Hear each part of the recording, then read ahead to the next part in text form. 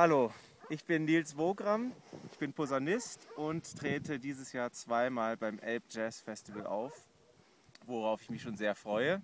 Einmal im Duo mit dem russischen Pianisten Simon Nabatov. Wir spielen Eigenkompositionen, die inspiriert sind durch Jazz, neue Musik und brasilianische Einflüsse. Und der zweite Auftritt ist mit der Big Band der Musikhochschule Hamburg wir spielen ein Programm, was ich mal komponiert habe und arrangiert habe für die NDR Big Band. Und ich freue mich, euch dann zu sehen.